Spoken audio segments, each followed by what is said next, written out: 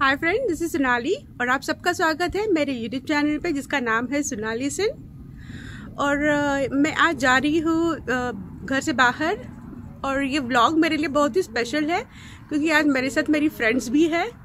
तो चलो चलते हैं।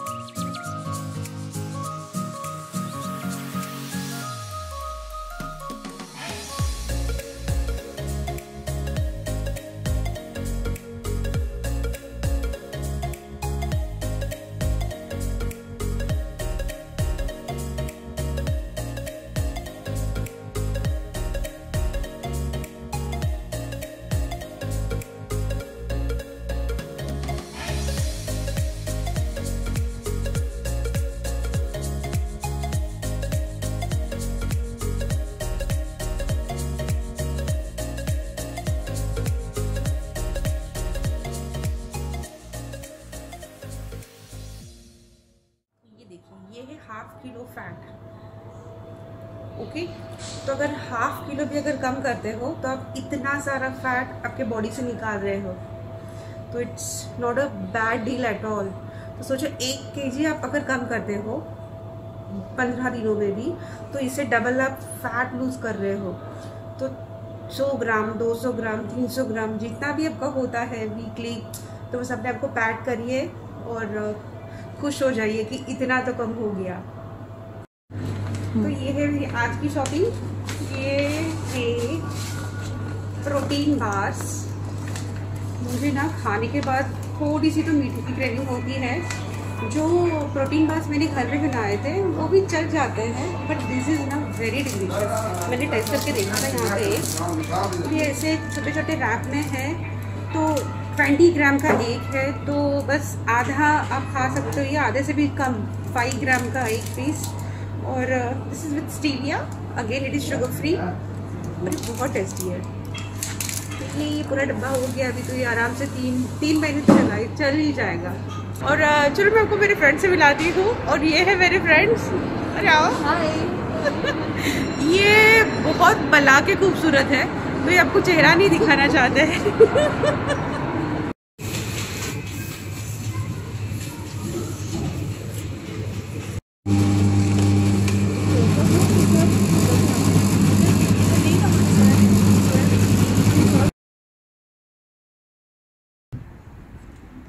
फाइनली अभी हम लोग घर जा रहे हैं। आप देख सकते हो पीछे की पीछे का रास्ता।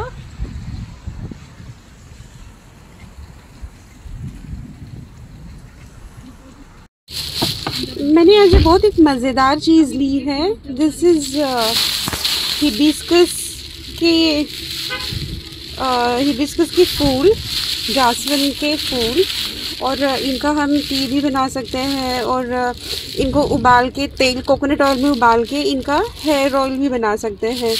तो मैं ट्राई करना चाहती हूँ ये। तो देखते कैसी बन इसकी चाय कैसे बनती है मुझे वो देखना है। तो ये मेरे पास है हिबिस्कस की पंखुड़िया जिनको उन्होंने सुखा के रखा है शायद। हाँ। ये टोटली ड्राइड है और जिसका ग्रीन पार्ट भी उन्होंने निकाल दिया है तो ये just plain petals of hibiscus और हिबिस्कस के बारे में मैंने बहुत कुछ सुना था और पढ़ा भी था कि हिबिस्कस का जो फूल होता है, उसकी चाय बनाई जाती है। उसको हेयर मास्क में भी एज अ कंडीशनर यूज़ किया जाता है। तो हेयर मास्क का तो पता नहीं कैसे यूज़ करना है बट इसकी चाय तो मैं अभी ज़रूर बनाने वाली हूँ।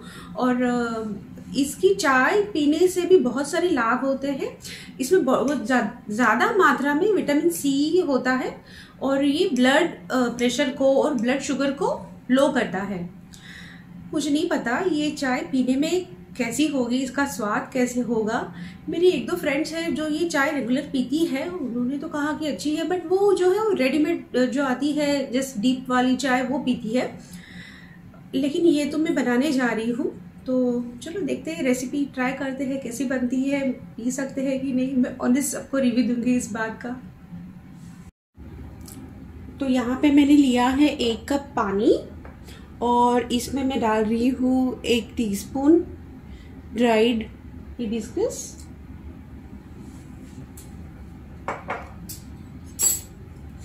और मैं इसी में डाल रही हूँ थोड़ा सा जिंजर थोड़ा सा ही डालना है। बस। और देखते कैसी बनती है ये चाय?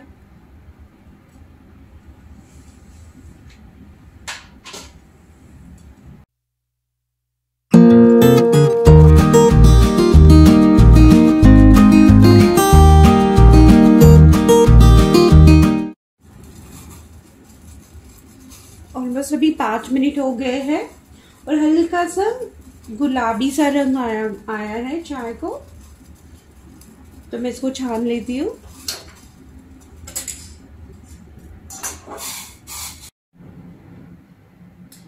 तो पाँच मिनट उबलने के बाद ये चाय तैयार है। इसमें हल्का सा गुलाबी सा रंग है और महक तो मुझे कुछ खास नहीं आ रही है, बस अदरक की महक आ रही है। मैं पी के देखती हूँ कैसी लगती है।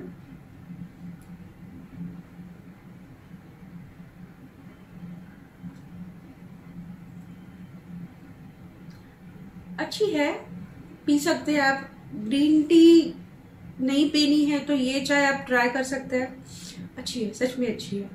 और अगर आपको इसमें हनी ऐड करना है तो आप इस वक्त इसमें हनी ऐड मतलब चाय होने के बाद जब वो आप छान लोगे, उसके बाद अब इसमें आपको जितनी मर्ज़ी हनी ऐड कर लो और मीठी हो जाएगी फिर। मीठी चाय पी लो। तो फ्रेंड्स अगर आपको ये वीडियो पसंद आया हो तो प्लीज़ इस वीडियो को लाइक कर दीजिए और मेरे चैनल को सब्सक्राइब कर दीजिए। आपसे जल्दी ही मुलाकात होगी मेरे नए वीडियो में। तब तक के लिए टेक केयर बाय